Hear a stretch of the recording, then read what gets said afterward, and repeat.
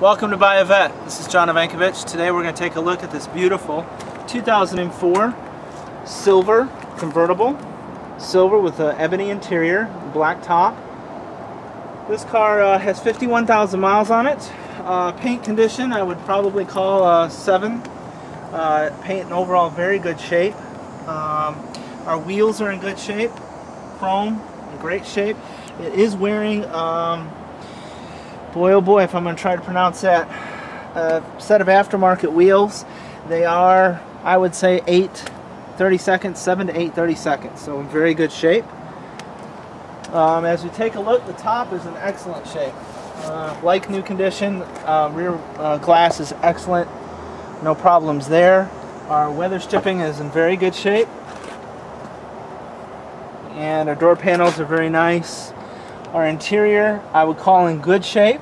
Uh, we do have a little bit of the uh, natural wrinkling that comes from sitting in it. I have just a small scuff right here. Our carpeting I would call in good shape as well. But no major ring marks on the uh, steering wheel. The dash, dash pad is in excellent shape. This car does not have the heads-up display. Uh, it is more of a base model Corvette. And as we can see, uh, the uh, rear of the carpeting is in excellent shape and does have uh, the nice storage compartments on either side as well as the grocery netting. Uh, the rear of the car, there's no major scratches or anything here where somebody might have put luggage inside. Uh, nice and clean, nice clear lenses. The wheels on all four corners are in great shape. No major wheel scuffs or anything like that. the passenger side uh, seat, as usual in a Corvette, is in a little bit better shape than the driver's side. Um, mostly, uh, a lot of these cars end up being for a, a one-person ride. Uh, the door panel on the passenger side is also in very good shape. And take a look underneath the hood real quick.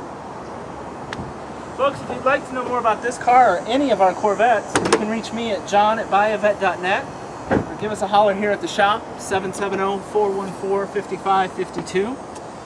This has a very uh, original and um, nice engine bay. The battery on the car is aftermarket, which isn't unusual for a car with 51,000 miles on it. It does have our 12-month, 12,000 mile certified warranty, and passed all the inspections for that, and our two-year, 50,000 mile warranty.